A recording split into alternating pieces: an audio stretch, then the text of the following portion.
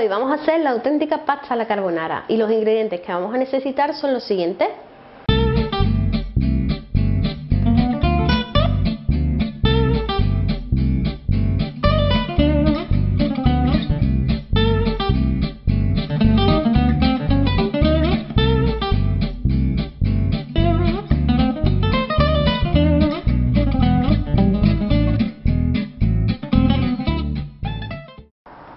Lo primero que vamos a hacer es pelar el ajo y lo vamos a machacar un poquito. Ahora vamos a coger y vamos a cortar el bacon. Normalmente la salsa carbonara se hace con la papada del cerdo, pero como nosotros no lo hemos encontrado, vamos a usar el bacon. Es muy similar y le va a aportar ese sabor. Ahora vamos a coger y vamos a ir cajando los huevos. Vamos a coger y vamos a separar la clara de la yema. Por cada persona vamos a usar dos yemas de huevo. Vamos a, echar la yema en el bol. Vamos a echar la pimienta y vamos a ser generosos con la pimienta, ya que es importante que sepa bastante y es un ingrediente fundamental.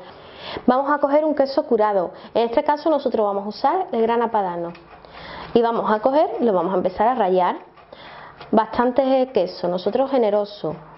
Contra más queso más rico, eso también depende del gusto de la persona. Y una vez que tenemos el queso lo vamos a mover todo bien para que se mezcle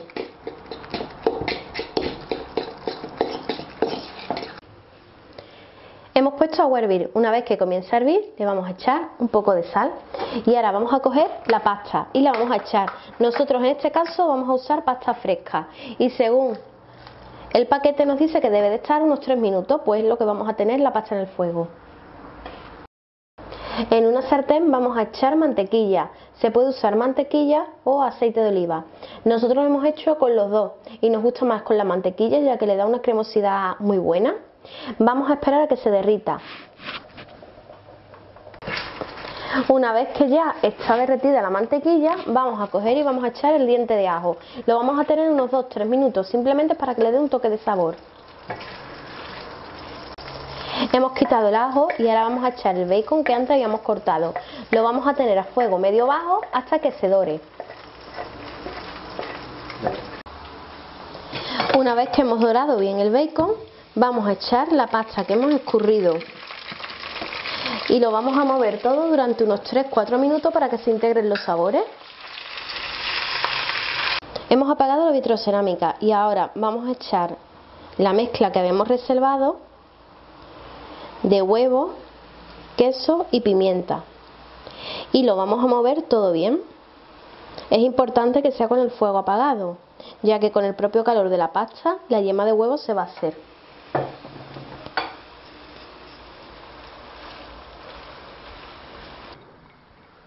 Bueno, pues como veis ya tenemos listo nuestro plato de carbonara, listo para comer.